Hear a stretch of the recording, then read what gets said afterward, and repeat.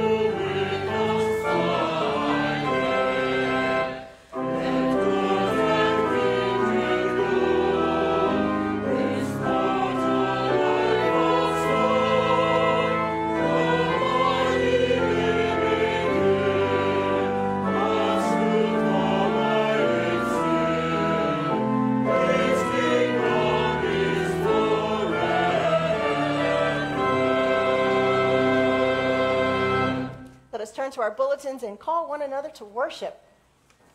This is the dwelling place of God. Let us come before the Lord in humility. Let us sing for joy to the living God. Let us worship and rejoice. Please be seated. Let's join one another in the prayer of invocation and our Lord's Prayer.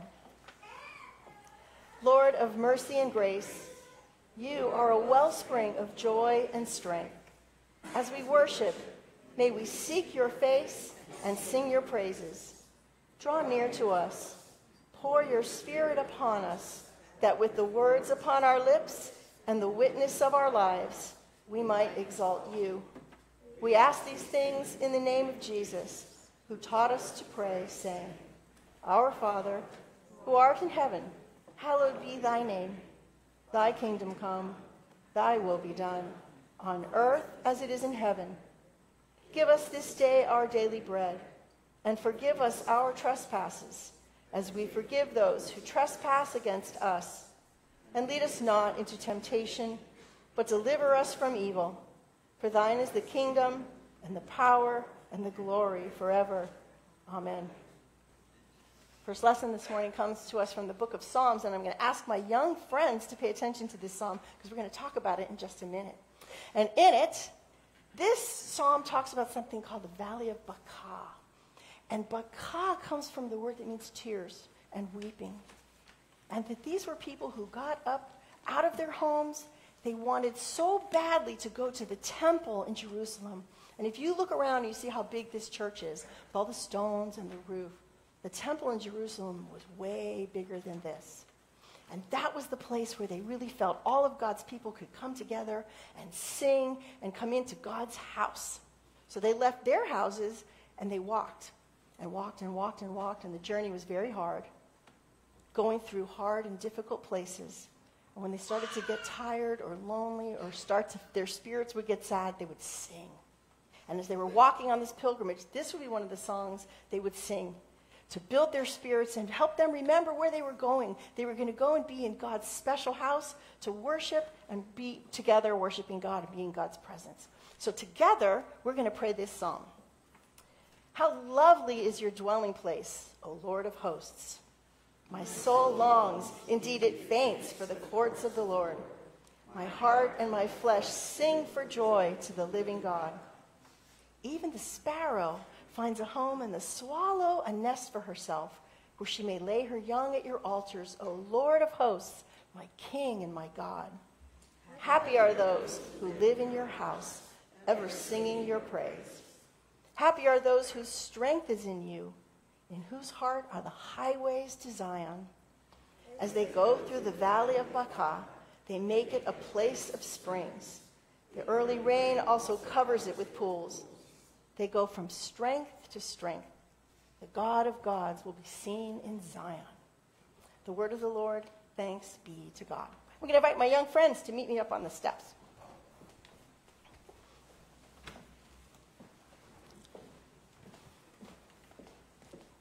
Whoa, I love the ears. I love your ears. Hi, everybody. Gosh, everybody looks so fancy today. I love this. Were you listening to that psalm? Yeah? Did you hear what the choir was singing when we first started? Did you hear what the, the, when they were singing called the introit, that beautiful music that gets us ready to worship? They were talking about God being almighty and powerful, the Lord of hosts. God in that, that song and in this psalm is big and creates the universe and is so big and powerful when the people wanted to build a place to worship God, do you think they built just like a little teeny tiny place? No, they built this bigger than this, way bigger than this, because it was going to be God's house for God that was so big and great and powerful. But if you listened in the psalm to go into God's house, there was such a big place, this big and powerful God. They talk about something called the sparrow. You see the sparrow? You see how little the sparrow is? About the right size for a sparrow. It's just this teeny tiny. We'll show it for the choir too. This teeny tiny, even God, who's so powerful, cares about the teeny tiniest little bird. The bird is going to be welcome in God's house. And even the bird is going to sing when everybody comes together to worship. So when the people were leaving their homes and going on this long walk, they really got tired. I mean, it's a long, hard walk. How did you get to church this morning? By car? How did you get to church this morning? I know some people come on their bicycles. You came in the car? You ride your bike? How long did it take? Like five days? No? Got here pretty quick, right? Right? Did you walk? It's nice to be able to walk. It would be like for these people as if right now we decided we were going to start walking to go to church and we'd get there next Sunday. And we would have to walk that whole time, and it was going to be hot and rocky and tired, and we might get like really discouraged. And if you look, when they talk about that valley I was talking about, I brought a picture. I'm going to show it to you all first it's a little closer. It's, wow, it's a desert. And see the mountains with nothing. I'm going to see if maybe the people in the congregation can see, right? This valley in the desert with no trees and no water. And this psalmist did something very special. When they, this psalmist writes something that's called poetry. And in poetry, you know how you draw a picture because you're trying to make, like, draw a valley? Or help somebody understand something. Poets do that, but they use words so that our minds and our imaginations paint a picture. And the psalmist, when he was talking, or she, was talking about the valley of Baca, this valley of weeping, that sometimes we feel like we are walking through a place like this, not really in a desert, but just we're really sad. Like bad things happen to us, sad things happen to us, or our friends are being mean to us, and just feel like it just goes on and on and on, and we get very discouraged. That's what it means to be feeling like just in this valley where you're so sad. And the people who were going through this place and this journey, what they wanted more than anything was to get to the temple, to be with every. Look out there and see all the people who are here. That together, even when we're feeling sad, there are lots of people out there that are feeling very sad today. There are lots of people who are feeling very discouraged because the hard things are happening for a very long time. And they come together and they feel like they're in God's presence. Like when we all come together and we pray and we sing, we really can feel like God is with us. That's what the people in the psalm wanted. That's where they felt they were with God. But you know something? You know one of the things that Jesus told us? That God is also where? Not just in this house, inside all of us. So what happens is we all come in here and we get to be like the people who are going to the temple. But then we go outside into the world, and you know who goes with us? God goes with us. God doesn't stay in here. Right? God goes out into the world. And there are people right now who are going through really hard things. You can talk to Pastor Al and Mr. Cobb and Mr. Bard and Mr. Thielen. They went over to the other side of our state, and there are people who have no homes. No homes. That means children too. Like if you think of your room and all the cool stuff that's in your room, for those children, you know what? It's gone. Literally gone. Their favorite toys, their favorite pillow, all their cool treasures that's in their room, their special place. And I'm going to tell you something. There, this is going to take a very long time to help those children feel better. But when we go out into the world, we can do it we can help the people who are going through something hard. I'm going to show you one of the ways we can take God with us, and it may seem look, like a little funny. Do you know what this is? Do you know what these are? There's a doggy and a kitty and soccer balls. I'm going to show you. I'll give you a hint if I do something. Can you see? It's a pillowcase. And on the day where you all are playing pickleball, the seventh and eighth graders are going to come, and we're going to put pillows in here. And you know what? There's a really wonderful lady in our church. Her name is Mrs. Conity. She made all of these for us. And we're going to make like 75 or 100 pillows in a special pillowcase, in a special bag that's going to go to Chapman Partnership for Children who have no what? They don't have a home or a room or pillows. So we are going to do that. And when we do that, we send God's love straight right to them. I'm going to show you something else. This is another way we can share God's love uh, paintbrush. Um, you know who's going to do this? Our youth. There is a family who lives very close to us, and they're having a hard time. And we're going to go and help fix up their house. So our teenagers are going to go, and we're going to be in here together, and we're going to feel God's presence, and we're going to take God's love right down the street to our neighbors to help them feel better. Hey, guys, let me show you another way we can show God's love. What are these? These are pretty elegant. I could wear these like to a party, right? Like for Ellen. Even better. Do you see them? These are my work gloves. These are, these are my work gloves. And you know what? The people from this church are going to go all this way back over to the West Coast and help the people whose yards need cleaned up because they have stuff everywhere and their houses need fixed up. But you know what also needs fixed up? Not just their houses and their yards. You know what needs fixed up for them? What? Their, their spirit. Because they are going to go through a very long, hard time. And we're going to help them. And we're going to help the little children too that lost all their stuff. Then, you know what this is? Uh, a, a This is very exciting. What is it? Uh, it's a toy thingy and a- Is there anything in here that's any good? No, No? But you know what? This box is going to get filled with a way that show God's love. Do you know how? stu- stuff for them to build. You got it, Asher. We're going to do, yes, we're going to sign this out. We're going to put a child's name on it who can't live in their home right now. And they're doing something very special. They're living with a, a, a different family that's taking care of them. And what we're going to do is get the child's name. That child might be feeling like mm, maybe a little forgotten right now.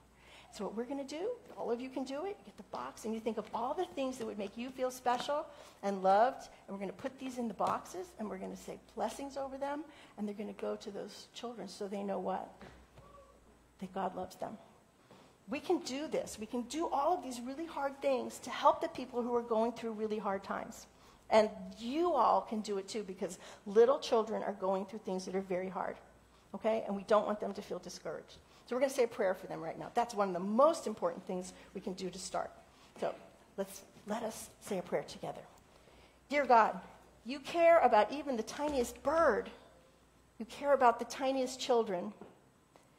We would ask that for all of those children right now in your world who feel like their special things are gone, their houses are gone, and they might be feeling alone or afraid, that they will know that you love them and that you would show us how to help them feel encouraged and feel your love. We ask this in Jesus' name. Amen. Amen. You guys can go to Nurturing Faith with Mrs. Burt.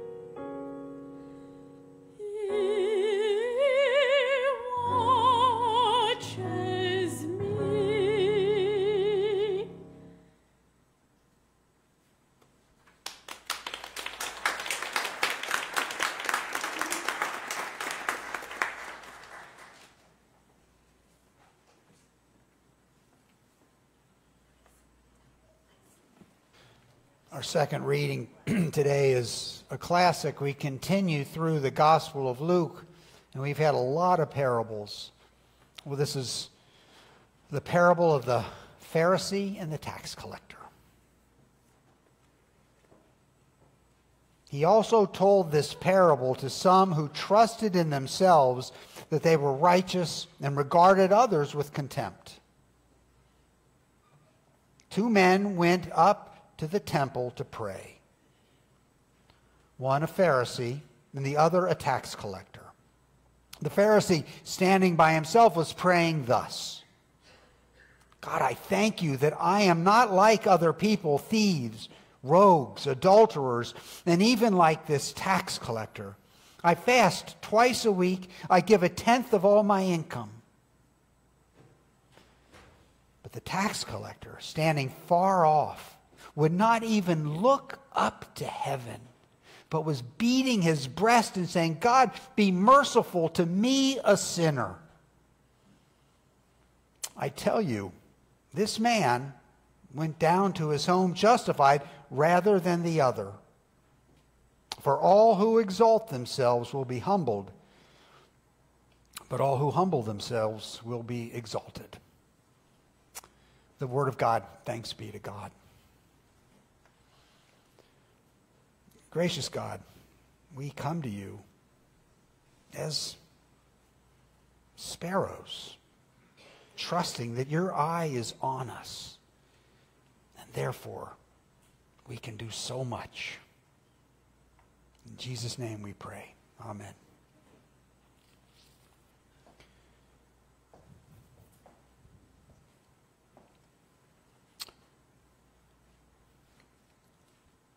I'll ask the, I'll start the sermon by asking a question I ask almost every time I open a book, every time I turn on the TV and watch a movie. Who's, who does the author or the creator of the movie intend to be the hero of the story or the goat of the story? We always, I think, want to know that. I know I want to know that very clearly as much as possible from the outset. Well, today we have a story created by Jesus Christ. He's the author. And we want to know, we'll start off the sermon asking who's the hero of the story and who's the goat? Come on, it's obvious. It's obvious who's the hero and who's the goat. The, the, well, let's start with this Pharisee. This, inc- this inc- in, he's an arrogant guy. Let's be honest. He's an arrogant guy. He's pats himself on the back. I'm just this wonderful guy. And uh, he just disdains this other guy who they're both in worship together. He disdains this other guy in worship. He says, Thank God I'm not like that guy. And then we have the tax collector. This poor guy. He's beating his breast. He's not even confident enough to look up to God. And he just asks for mercy. He knows he's done wrong. He asks for mercy. He knows he's been a bad man. And he begs for forgiveness. It's obvious, right? Who's the good guy and who's the bad guy? Or is it that obvious? Tax collectors were really bad people. They were so hated in ancient Israel, they weren't even allowed in the temple. It's odd that Jesus tells the story with the tax collector in the temple because he probably wouldn't even have been allowed in to worship. They were viewed as traitors to the Jewish people. They, there was no tax code you could check to find out how much you owed for this and that. And so they were working in league with the Roman governor, government to, and they could take whatever they wanted off the top. And so they were famous for taking way too much and being unfair, and the people had not, there's nothing they could do about it. They were hated. This guy, it'd be like a, a, a, a, a drug dealer coming into worship and saying, I'm so sorry, I've been so bad. But you know what? Do we really, is it that simple, that quickly? The drug dealer on a dime can just, all he has to do is say that I'm, I'm, I, am i am sorry and be forgiven immediately? Is it that simple?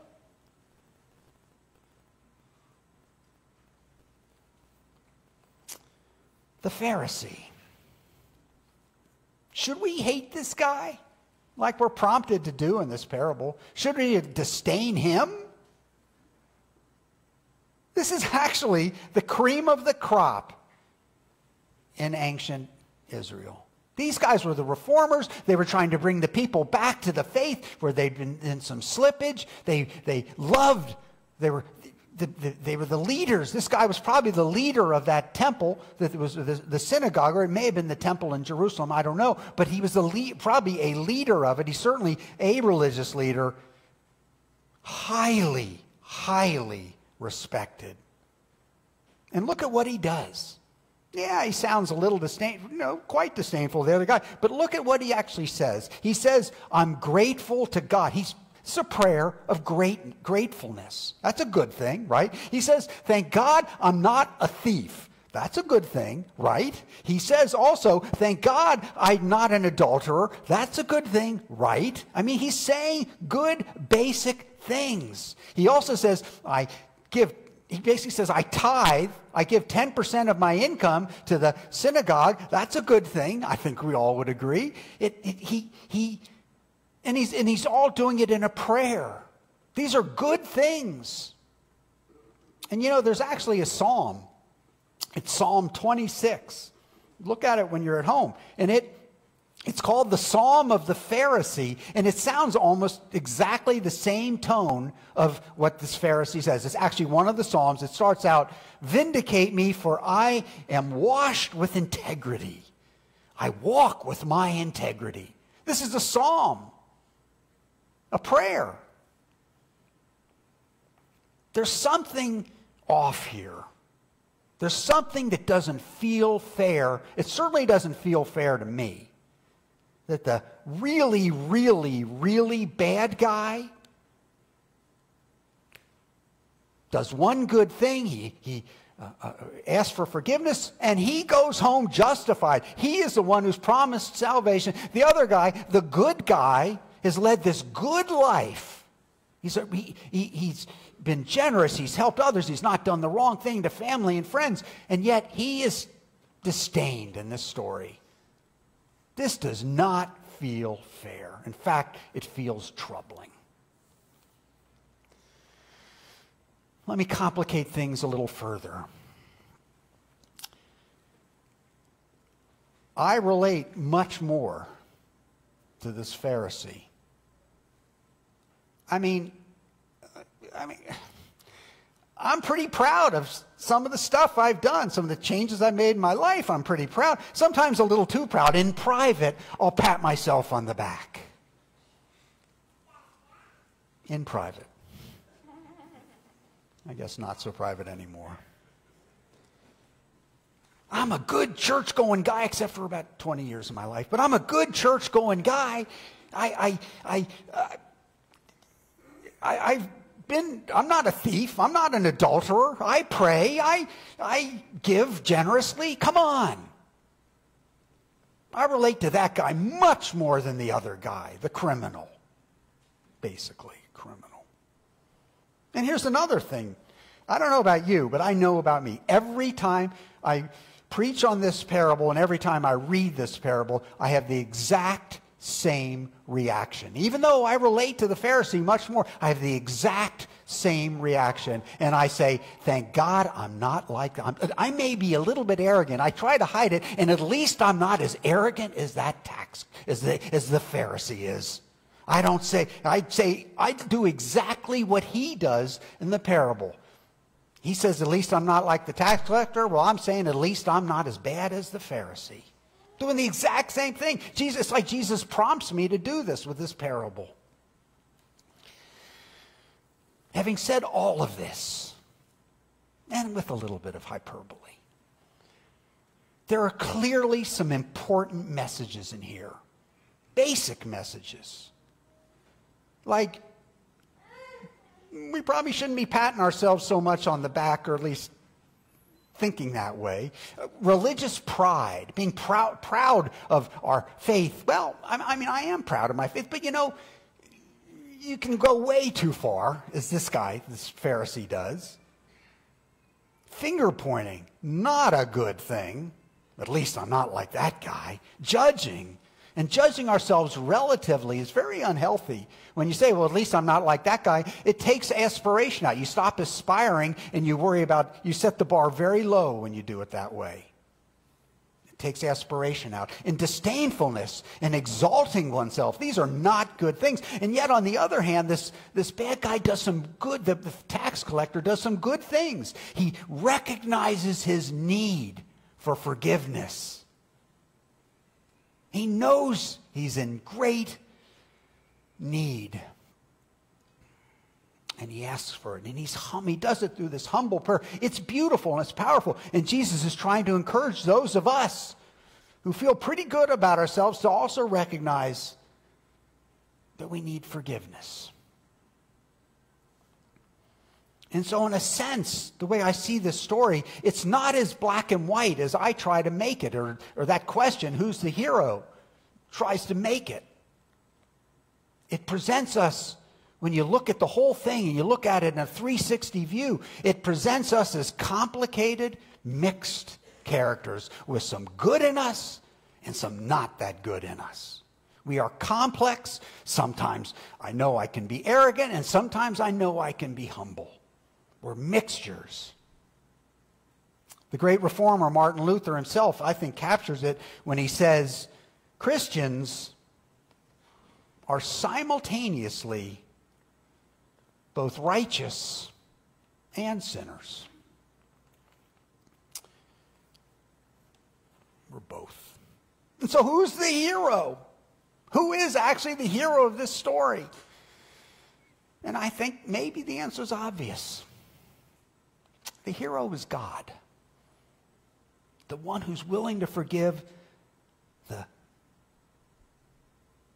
tax collector, someone is desperately bad guy like the tax collector, and also willing and ready to forgive the Pharisee if he'd only ask. And I know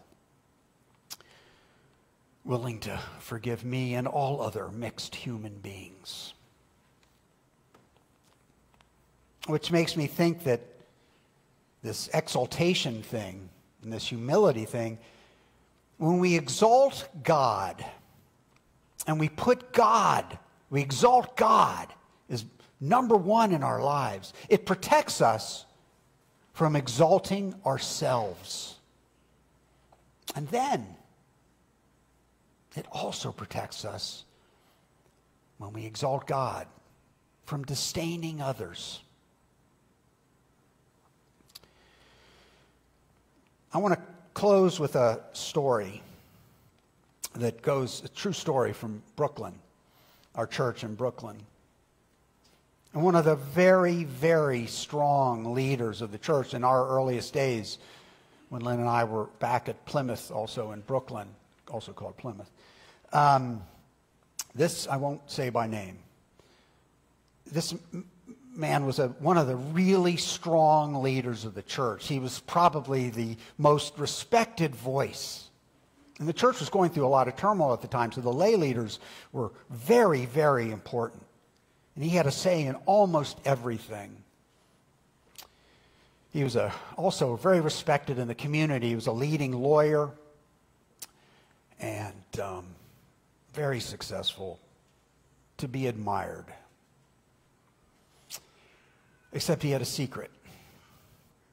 He didn't pay his taxes for many years.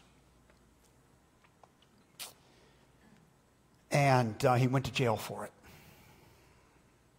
And when this happened, it was a trauma within the church, an absolute trauma. And everybody was pointing fingers. We were doing, I mean, I got to tell you, there was a lot of disdain happening among the members of Plymouth Church in Brooklyn and I got to tell you, I had plenty of disdain in my own heart towards this gentleman. And so the pastor did something that was really important. Really important. pastor turned out to be my mentor, Pastor David. He gathered the church, and during a worship service, after this man was out of jail, he created a liturgy. And he began by asking this gentleman to, in front of the church, as part of the liturgy, to apologize to the church and to ask for forgiveness. And then he asked us in the pews to forgive him and to do it all together. Every Sunday, we pray, God, forgive us our trespasses as we forgive those who trespass against us. We worship a God who is so merciful to each and every one of us mixed human beings. And what he really wants us to do is to carry some of that mercy and pass it forward to another mixed human being. Amen.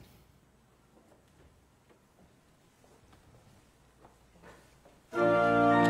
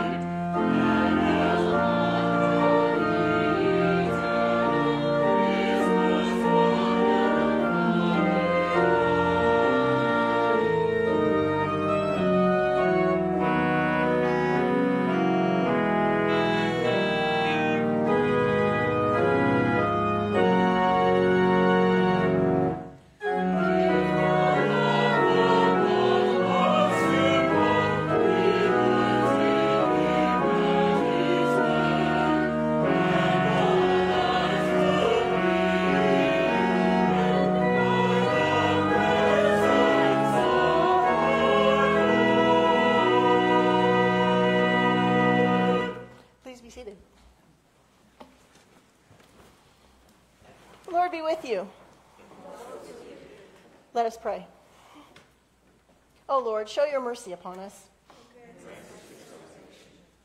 O God, make clean our hearts within us.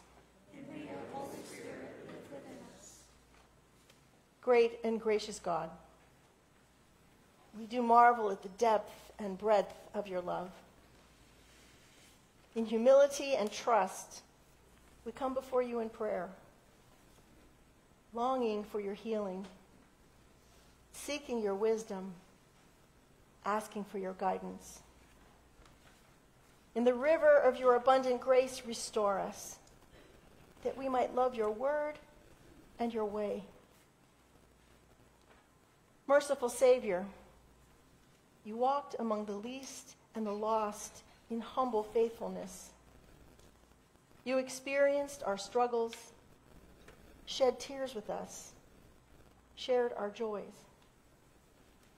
Help us to take you at your word that you welcome us just as we are. Forgive us when we limit your love by our own righteousness.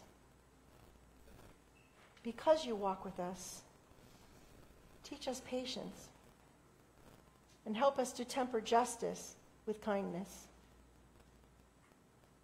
Spirit of hope and joy, you descend upon us like a dove, and you fill us with your strength. When we lose sight of you in our daily life, when the powerful enticements of the world pull us from your pathways, when we are too busy to pray and too weary to worship, too caught up with earthly things to think of heaven. Illumine our souls.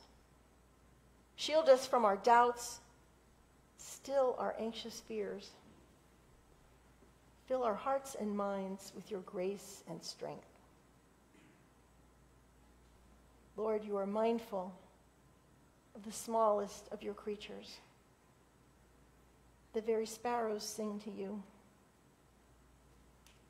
So we pray for those who are dear to us Tammy, Bruce and Martha, Terry, Edith, Carl, Juan, Tomaso.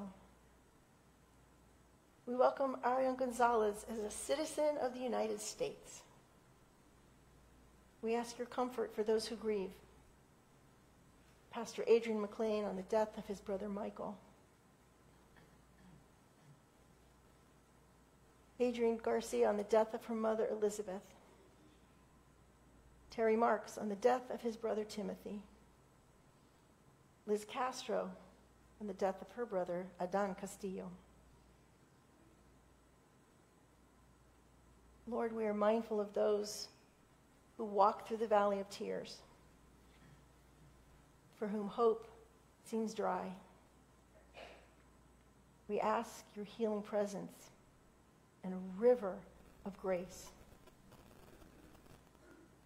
Lord of life, the challenges of the world wash over us and around us, so our souls do long for you in a quiet moment together we linger close to one another and close to you. Water the barren places in our lives with the healing stream of your love and refresh our faith.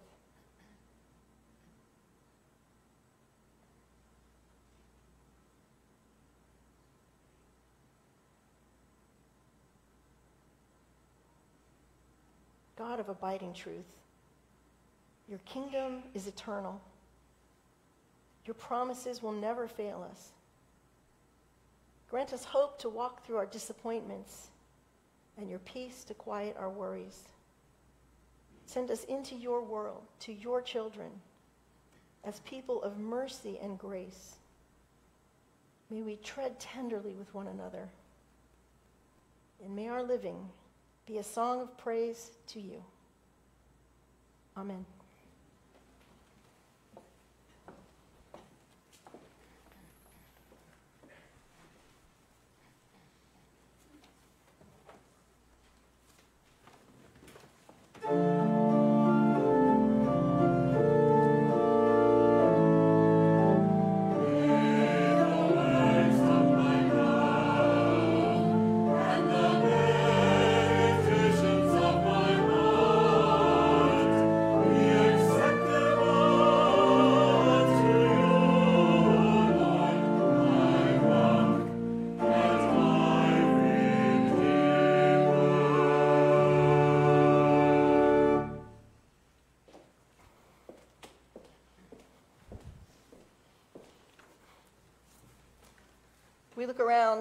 Near and far, and there are so many, young and old, who are in that valley of tears. We do it to ourselves. We allow our faith to dry up. We see it happen when the world comes upon poor people. We can be a river of hope. We can be a river of grace. It is in gratitude that we get to come into this dwelling place of God, but also to become the dwelling place of God. It is in gratitude for that that the morning offering will now be received.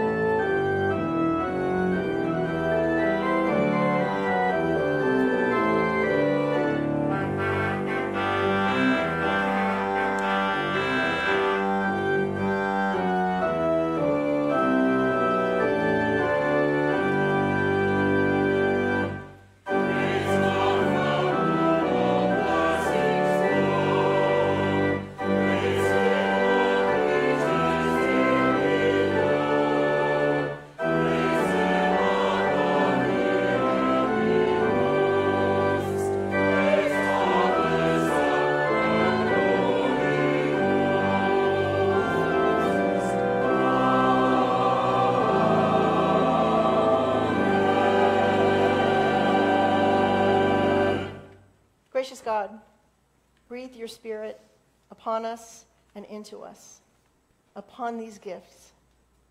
Take that breath of grace and mercy and hope and pour it out into a world, a world in which many are walking through a valley of tears.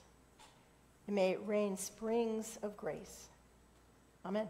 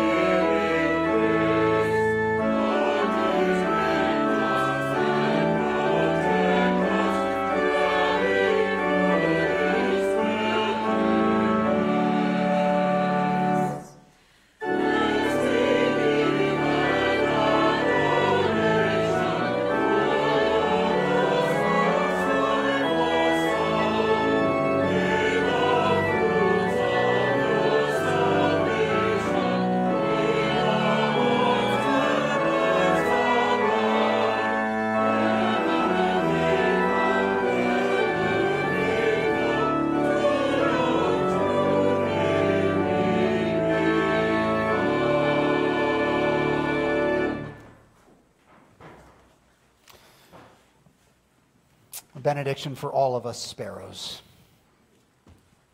Go now with God. Be not tempted to stay only in the safety of known places. Be not tempted to go only in your own time. Choose to go with God. Elect not to go alone. Go in the faith that there's no valley so low, no wilderness so vast, no passage so crooked that God is not already waiting there to be with you. Amen. Please be seated.